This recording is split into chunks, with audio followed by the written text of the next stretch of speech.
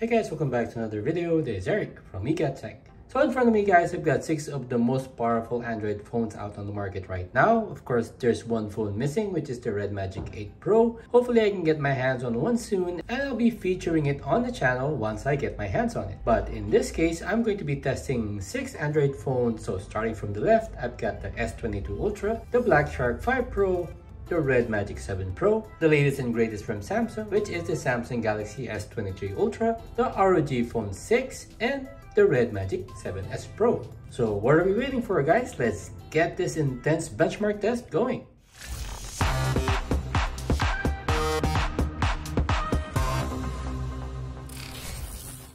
So before I begin, here are some key specs for the phone. So for the S22 Ultra, this has the Snapdragon 8 Gen 1 chip. It has 12GB of RAM and 256GB of storage. The phone with the lowest RAM and storage here is the Black Shark 5 Pro. It only has 8GB of RAM and 128GB of storage. The phone with the most RAM here is the Red Magic 7 Pro. I've only managed to get the 16GB of RAM version with the 256GB of storage. The S23 Ultra here has the most storage. On the other hand, it has 12 GB of RAM with 512 GB of UFS 4.0 storage. The ROG Phone 6 has the standard 12 GB LPDDR5 RAM and 256 GB of UFS 3.1 storage. And last on the list is the Red Magic 7S Pro which also carries the Snapdragon 8 Plus Gen 1. It has 12 GB of LPDDR5 RAM and 256 GB of UFS 3.1 storage.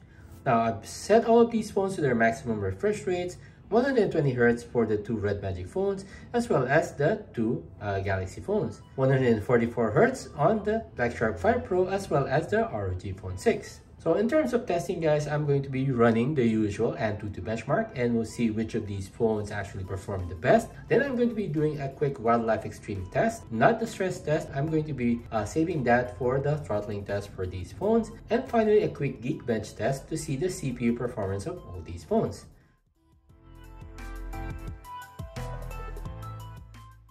Okay, so starting a quick Antutu benchmark test between six powerful Android phones and starting it in three, two, one.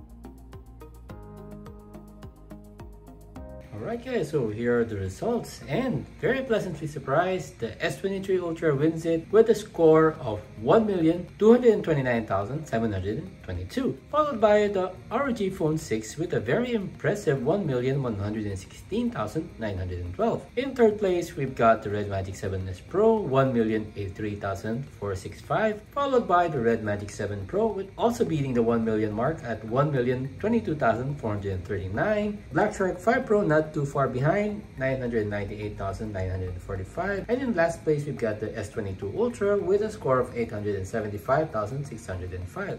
The phone that got the hottest was the Black Shark 5 Pro at 45.2 degrees, followed by the Red Magic 7 Pro with a temperature of 39.6, then the S22 Ultra with a 39.1 degrees Celsius temperature, followed by the S22 Ultra. It got a bit hot at 37.7, but not too hot. It's not hitting 40 degrees, which is good. 35.7 on the Red Magic 7S Pro, and really impressed with the ROG Phone 6. Take note guys, the ROG Phone 6 doesn't have an internal fan. For it to be actually hitting that uh, high score and then having one of the lowest temperature among all these phones is very impressive in and of itself.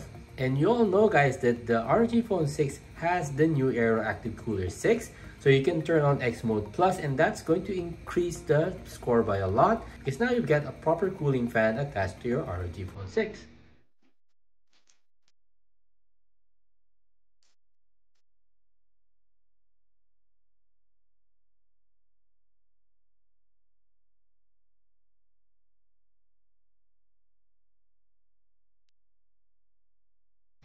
Alright guys, so going on to the next test which is the 3D Mark Wildlife Extreme. So starting the test in 3, 2, 1.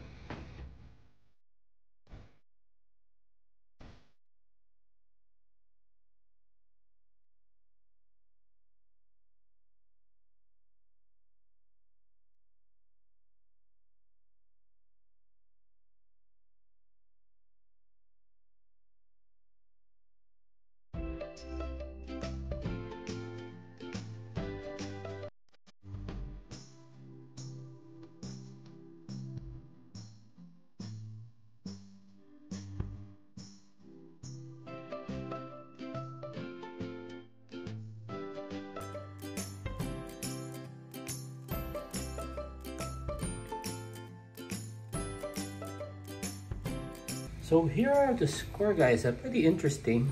Again, very impressive showing from the Samsung Galaxy S23 Ultra with an overall score of 3,781. Followed by the ROG Phone 6 with 2,827, Red Magic 7S Pro 2,817, so neck and neck with the two Snapdragon 8 Plus Gen 1 carrying chips, 2613 on the Red Magic 7 Pro, 2618 on the Black Shark 5 Pro. So even though it has lower RAM and lower storage, it actually beat out the Red Magic 7 Pro and the S22 Ultra, which has the same Snapdragon 8 Gen 1 chip, actually scoring a lot lower with a score of 2034. It's looking like the S22 Ultra is having some problems keeping up with the other Snapdragon 8 Gen 1 chips. But in the case of the S23 Ultra, Samsung did its homework and is actually doing a lot better in terms of gaming performance. So in terms of the temperature guys, the ROG phone and the Red Magic 7 Pro did very well in the temperature department, 35 degrees, but is actually beaten out by the S23 Ultra, which remained at a very frosty 34 degrees Celsius, followed by the 37 degrees on the S22 Ultra, 38 on the Red Magic 7 Pro, and continuing with the very poor performance in terms of thermals is the Black Shark 5 Pro, which still hit a very hot 45 degrees Celsius.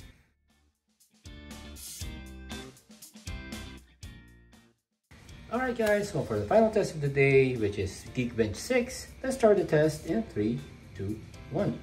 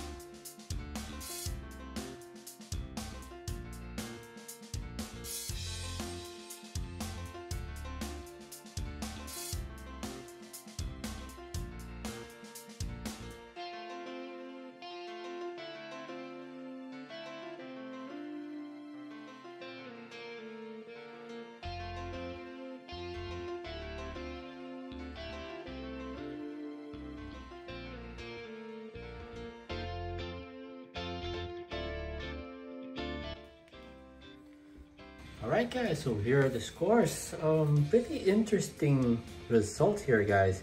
But as expected, the S23 Ultra actually won both the single core score and the multi-core score with a single core score of 1893, multi-core score 4990. So let's discuss the single core score first. So next is the Red Magic 7 Pro with 1713, followed by the Black Shark 5 Pro 1577, ROG Phone 6 1409, S22 Ultra 1401, and a pretty disappointing 1093 on the Red Magic 7S Pro. Though, what's interesting here guys, even though the single core score is pretty low on the 7S Pro, it actually uh, managed to breach the 4000 score for the multi-core score. It manages to get the second place with 4144, followed by the ROG Phone 6 3988, then the Red Magic 7 Pro at 3816, 3589 on the Black Shark 5 Pro, and 3335 on the S22 Ultra. So I guess you can see here guys, the S23 Ultra is actually the big winner and the S22 Ultra is the big loser. So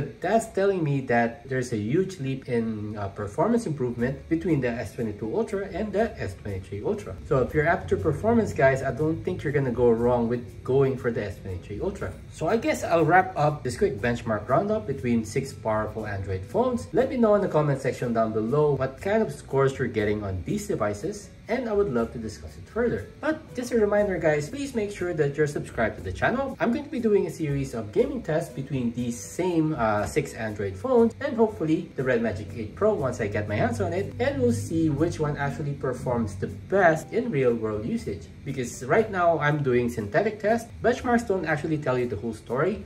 It's actually when you start playing games and even graphics heavy games such as Genshin Impact where you're going to get a good feel of how well these phones are going to perform. So you're going to be seeing if you're going to be getting frame drops or if you're going to be getting a lot of stuttering and you'll see how hot each of these phones get in those intense gaming sessions. But until then, a sub would be massively appreciated. Please like and subscribe, hit that bell icon notification, and see you all on my next one.